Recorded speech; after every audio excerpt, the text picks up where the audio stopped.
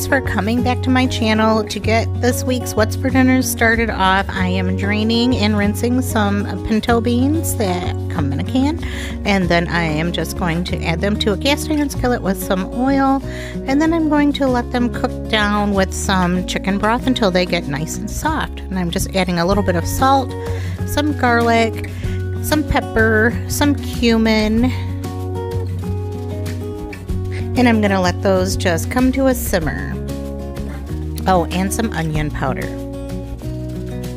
We don't want to forget that.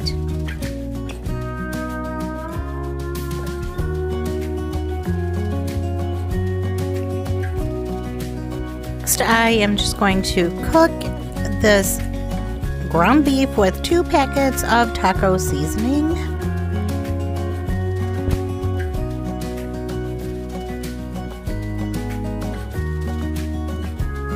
I let these beans simmer in chicken broth until they got really soft and I just um, added some onions to my taco meat.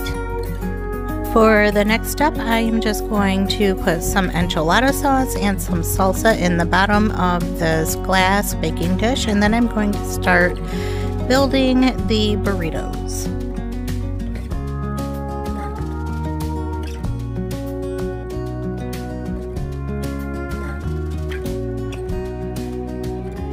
I have these giant size burrito um, tortillas, flour tortillas, and I'm just going to put a couple of scoops of that taco meat in the middle and then put some cheese in there and just roll them up and then set them on top of that enchilada sauce.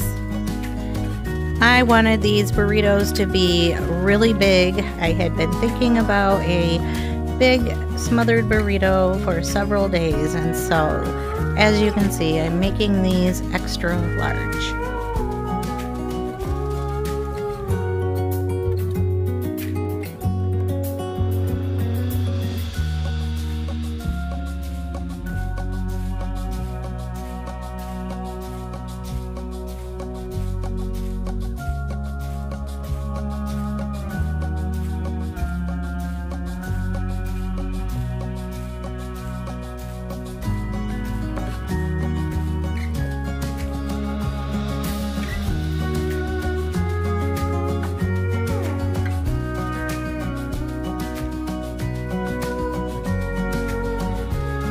Now I have all the burritos rolled up and in the pan, I'm just going to pour some of the remaining enchilada sauce on top of each burrito and then top each one with some shredded cheese.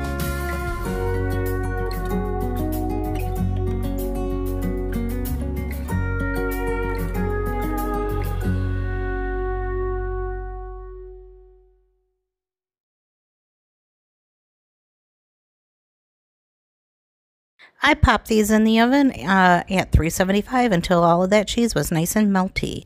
Meanwhile, these beans are getting thick and all I did was give them a light mashing and as they sit they actually got thicker than this and they turned out just perfect. Here I am just putting a little bit of salt on some sliced tomatoes and then we're going to get ready to make our plates.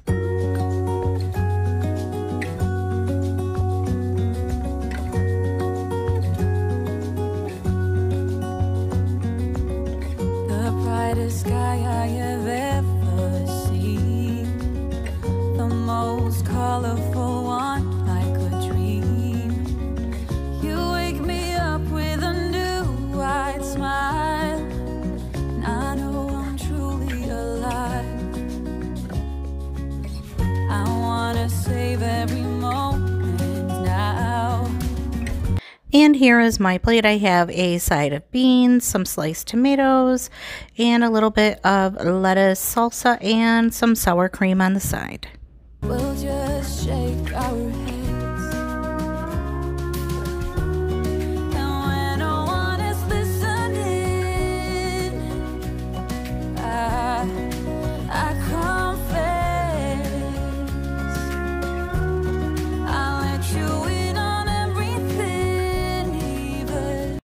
The next night, we're having some chili dogs, and not everybody likes hot dogs, so I have some smoked sausage and some Nathan's beef hot dogs, some green beans with a little seasoning salt, Hormel chili with no beans, and some water boiling for some mac and cheese. And I also cut up an onion.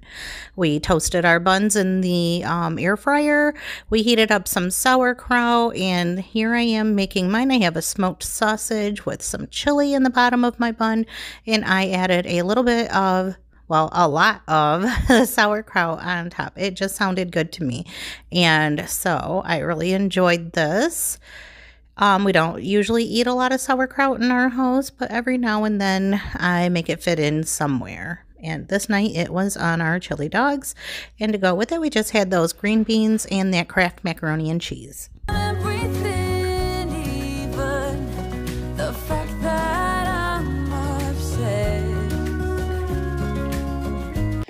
The third meal of the week was fish sandwiches.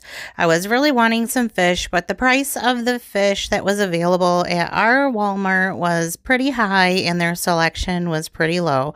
So I just opted to get some frozen Gorton's fish fillets and just make some fish sandwiches, which ended up being a super quick and super easy meal.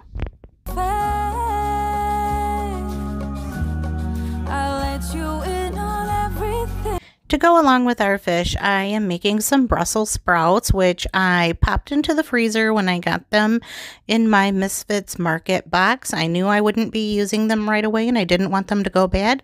So I just threw the whole package into my freezer. And so on this day, I am just getting them out, putting them in an 8x8 dish and adding some uh, seasoning and some butter.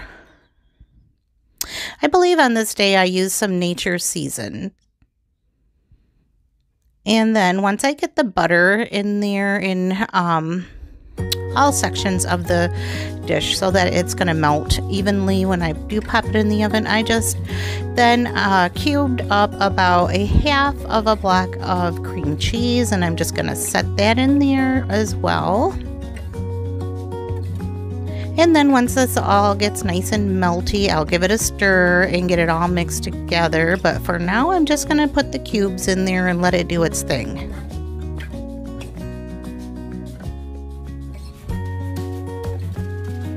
Next, I'm adding on some extra sharp cheddar cheese that I shredded up earlier and have been keeping in my refrigerator in a Ziploc bag. This is my favorite way to use up cheese. I like to shred it myself. And then I am just adding a package of real bacon pieces on top of that, and then it's going in the oven. I'm just making some of the pierogies that we had left over in the freezer in a skillet with some butter. And then I'm just going to sprinkle on some chopped up green onions just for some color and some other flavor. I think that the green onion and the chives goes really well with the potatoes. And just going to do just a little bit of seasoned salt for, you know, some extra flavor. You got to add salt. And here is how those Brussels sprouts turned out. They were so good. Um, big hit. They kind of stole the show. I mean, they were only competing with uh, fish fillets, so there you go. But those little bits of cheese that get stuck on the edge were the best. This was a super easy and quick side dish to throw together, and everybody liked them. When I assembled my plate, I just had some uh, French bread slices that I put some tartar sauce on. I did have some cheese slices and some lettuce laid out too for anybody who wished to have that on their sandwiches. I opted not to have cheese or lettuce on mine, so my sandwiches look kind of plain, but that's okay. That's just how I like them. And these are just really simple, um, no fuss. Um, pretty ordinary fish sandwiches. And so here's my plate with my pierogies and my Brussels sprouts. And this was actually a really good dinner for working with what you have.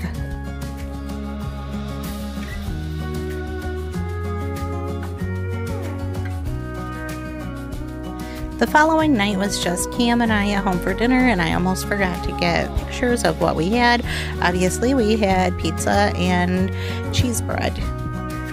This was from Little Caesars, not our favorite, but it was the cheapest, and these days that's what we're going for.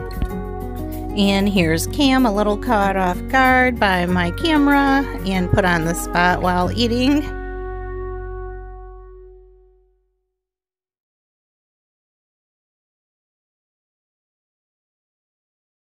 This is as good as homemade. no, homemade is better. No, that's not true. Homemade is way better. I like this. That's not even pizza, that's bread. cheese. Cheese bread. Mm-hmm. Friday was a really busy day for us, so we were just kind of throwing together whatever. So I have some meat and some seasoning, and I'm throwing in some Italian uh, seasoning as well as some of the nature seasoning with some um, ground beef and Italian sausage. I was not able to film all of this dinner prep because I had a Zoom meeting and we had people over at the same time, but I just boiled up some uh, water to cook up the fettuccine that I bought by mistake. Added some olive oil into my water before I added the noodles, and voila, here's the finished prod product. It was super good. That bread was so good.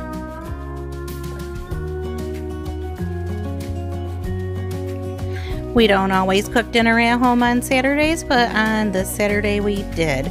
So I am just putting some frozen chicken wings into a baking dish so that they can thaw out a little bit. I'm going to just season them up with the nature seasoning. If you watch my videos, you know that if I use one seasoning in the beginning of the week, I pretty much use it all week long. So that seems to be what happened here. And so I have this um, wing sauce that I picked up from Ollie's, and I just uh, put some of that on these wings, even though they're frozen and they're kind of thawing out right now. I figured we would give them a little bit of a head start and get some sauce on them. And so then I just let them sit for a little while until they were ready to go in the oven. I have some potatoes that were in sorry shape, like they were ready to be planted. So I just got to work and started peeling those potatoes. These are some little yellow potatoes that I got in my Misfit Market box and just didn't get around to using them very quickly. So um, I just decided that it was time. So we're having potatoes with our wings, and I just got to work getting them peeled with a knife. I did not feel like fussing with a potato peeler, so we will just speed it along. And as much as I hate to peel potatoes, I do think that this is one of those jobs where you find that you get, um, you have to slow down your mind and you can't really multitask when you're peeling potatoes. So sometimes that's when you can get some of your best thinking done. The brightest sky I have ever most colorful one like a dream. You wake me up with a new white smile.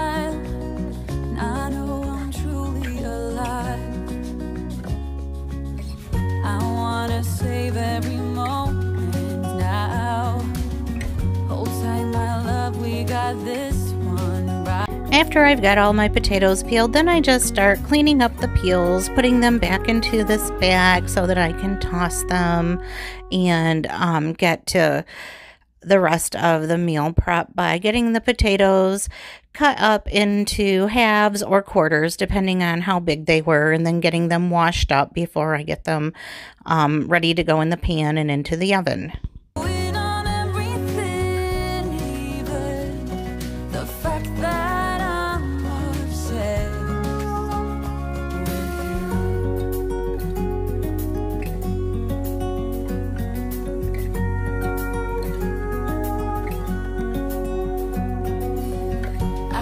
Hope I don't scare you too much, babe. I wish to flatter, not alienate.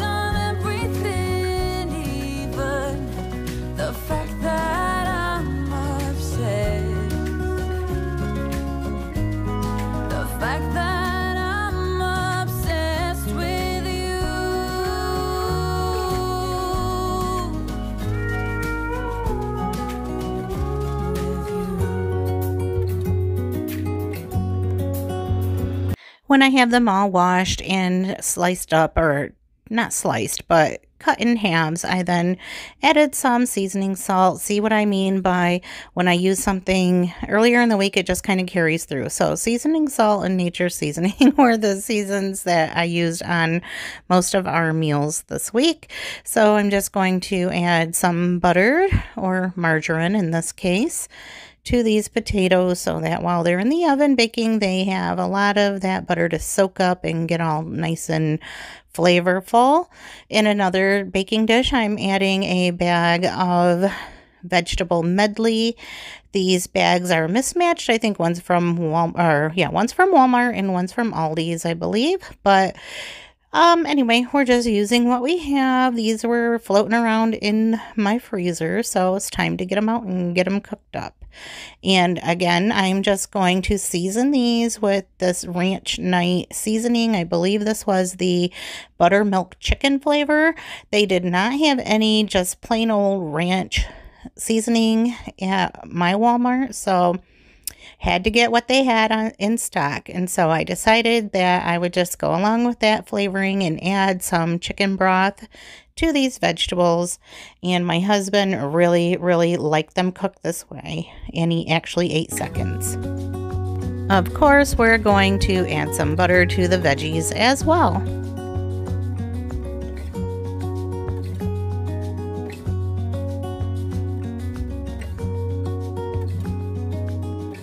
When the wings were done cooking all the way through, I just took them out of the oven and I poured off the liquid that was in the pan with these wings so that I could resauce them and then stick them back in the oven so that the skin would get crisp.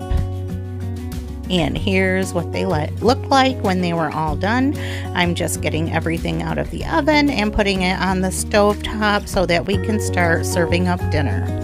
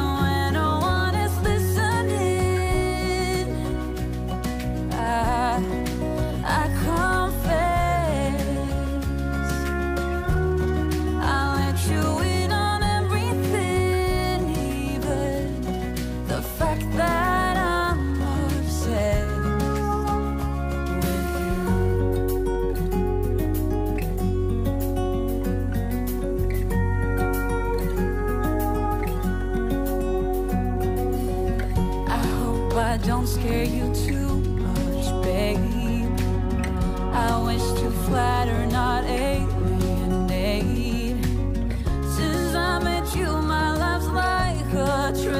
And here I'm making my plate. This wing sauce was really, really spicy, but we like spicy in our house, so that was no problem for us. But anyway, I decided that I would have some ranch with my hot wings so that it would tone it down a little bit.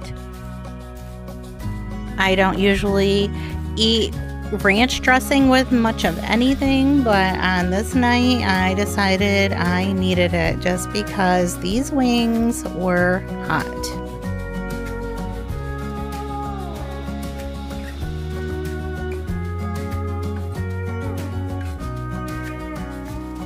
And that was our last dinner of the week. Thank you so much for watching this video, and if you liked it, please consider hitting the subscribe button. I'd love to have you back again next week. Bye!